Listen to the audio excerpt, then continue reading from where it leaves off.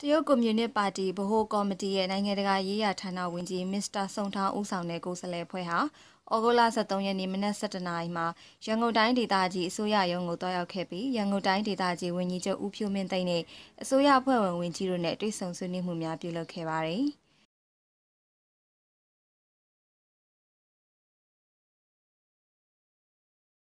ဒါ့အပြင်မစ္စတာစုံထောင်းဟာရန်ကုန်မြို့ရှိအမျိုးသားဒီမိုကရေစီအဖွဲ့ချုပ်ရုံးချုပ်မှာ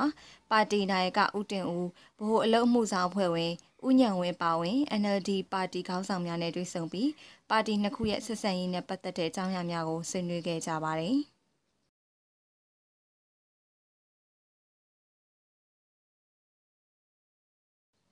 အဲ့နောက်ညနေပိုင်းမှာမြန်မာနိုင်ငံကတိုင်းသားပါတီခေါင်းဆောင်များဖြစ်ကြတဲ့ရခိုင်အမျိုးသားပါတီ ANP ဥက္ကဋ္ဌဒေါက်တာအေးမောင်နဲ့ရှမ်းတိုင်းသားများဒီမိုကရေစီအဖွဲ့ချုပ် SNLD ပါတီဥက္ကဋ္ဌဦးခွန်ထွန်းဦးတို့နဲ့လည်းတွေ့ဆုံဆွေးနွေးခဲ့ပါတယ်။